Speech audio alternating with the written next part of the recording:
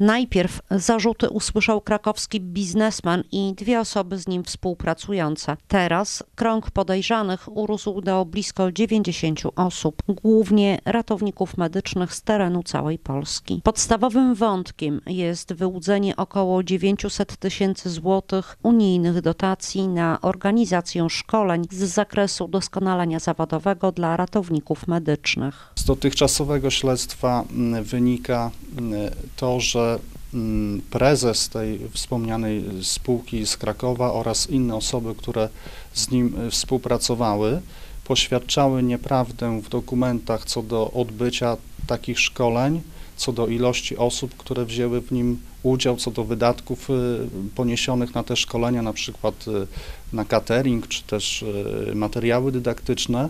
Następnie takie dokumenty nierzetelne i poświadczające nieprawdę były przedkładane do Ministerstwa Zdrowia cyklicznie.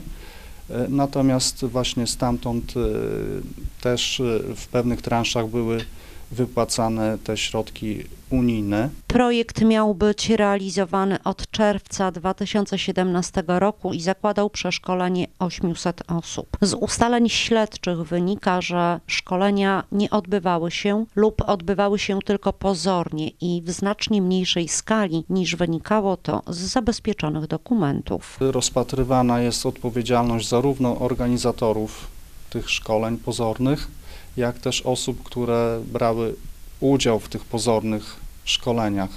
Tym pierwszym zarzuca się e, wyłudzenie środków e, unijnych właśnie poprzez e, posłużenie się tymi nierzetelnymi i poświadczającymi nieprawdę dokumentami, a tym drugim pomocnictwo w tym wyłudzeniu poprzez podpisywanie dokumentów pozorujących odbycie takich szkoleń, a więc chodzi tu o dokumenty takie jak listy obecności, y, potwierdzenia y, odbioru cateringu, odbioru mm, materiałów dydaktycznych, y, otrzymania certyfikatu, który z kolei potwierdza ukończenie szkolenia i, i, i, zdanie egzaminu. Ratownicy zgodnie z obowiązującymi ich przepisami powinni odbywać okresowe szkolenia zakończone uzyskaniem certyfikatów, które uprawniają ich do pracy w pogotowiu. W tej sprawie certyfikaty były, ale bez obowiązkowych szkoleń. Za wyłudzenie blisko milionowej dotacji grozi organizatorowi przestępczego procederu